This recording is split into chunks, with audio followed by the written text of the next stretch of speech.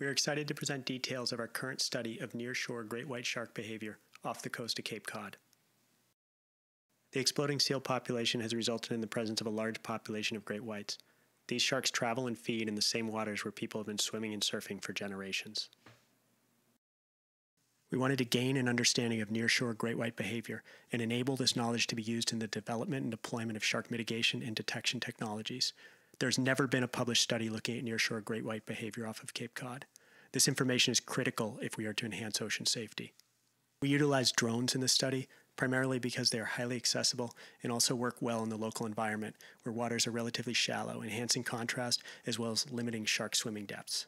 These systems are highly advanced and, when used correctly, represent a powerful scientific tool. The majority of flights were conducted from town and private beaches in Truro, Wellfleet, and Orleans. It is important to understand that permits from the Cape Cod National Seashore are not required unless flying from actual park property. The park has done their best to convince people otherwise, and in doing so have likely stymied research in this region, but it is simply not true. The park has no such authority. Data collection methods were relatively simple. Data was collected by flying up and down the coast until sharks were spotted and then following them for as long as we could. Somewhere in the vicinity of 50 hours of great white video was obtained over the course of a single summer.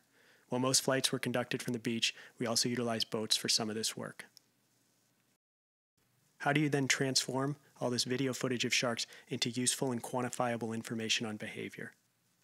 A number of animal tracking studies, including a recent shark study out of Australia, have simply flown the drone directly over the animal and used the drone GPS position as the animal position. We wanted to have greater flexibility. We wanted to be able to track multiple sharks at once, determine distances from shore and seals, as well as to quantify interactions with seals and other objects. We also wanted to obtain a varied data set for AI development. As such, we flew at all different altitudes and observed sharks from all different gimbal angles and directions. While this added tremendous versatility to our study, it also added considerable complexity. Flight data provides the information you need to convert image data into actual shark positions. You have the GPS of the drone, as well as the heading, gimbal angle, altitude, and lens angle. You need to go from video footage of sharks to actual shark position on the image sensor. This requires that all of your videos be annotated. Alignment of data streams is also critical. We have developed software to align data streams with a high level of accuracy. We have developed further software that essentially converts any position on the image sensor into coordinates in latitude and longitude. This then allows us to obtain all sorts of useful information and shark parameters. One of the things that we've created as a useful visual tool are these video maps.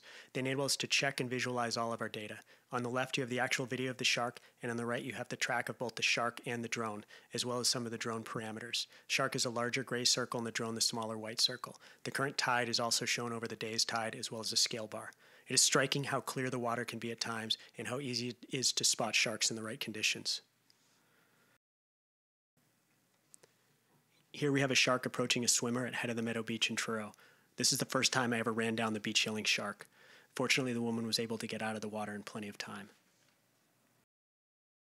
Here we have a seal approaching a shark before rapidly turning and swimming towards the beach we have managed to capture a lot of similar interactions between sharks and seals, including several instances of sharks chasing after seals.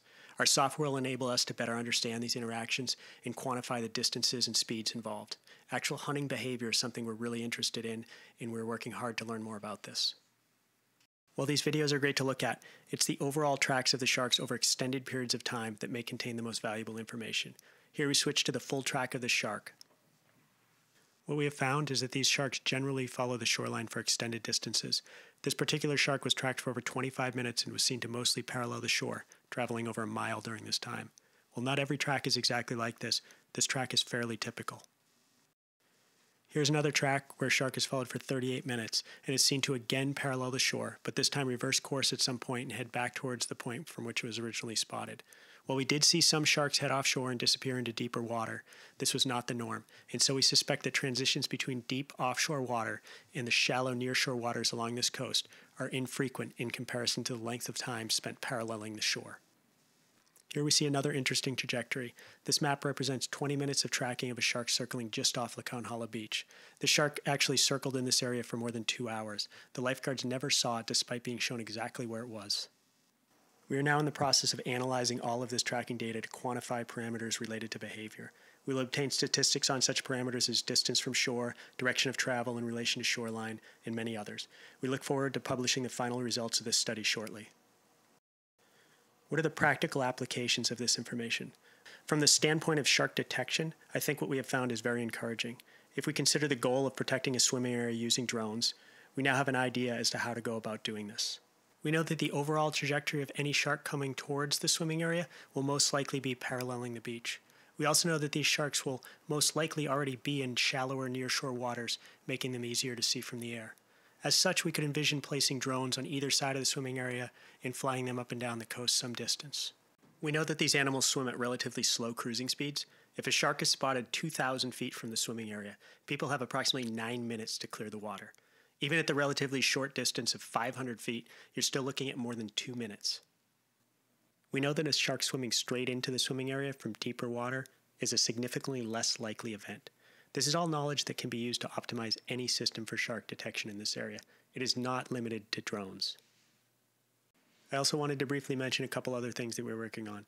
Tailbeat frequency and swim speed for a given shark length are an indication of behavior. Is the shark swimming to get from point A to point B and thus minimizing the cost of transport? Or is the shark swimming slower and thus likely foraging? These are things that we would like to understand, and we are developing software to help answer these questions.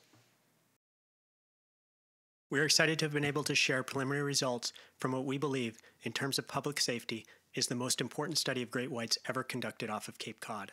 We look forward to continuing to work towards the further development of drone based systems for shark detection and also towards a greater understanding of shark behavior, as this is a fundamental key to both optimizing any shark detection system as well as to understanding its limitations.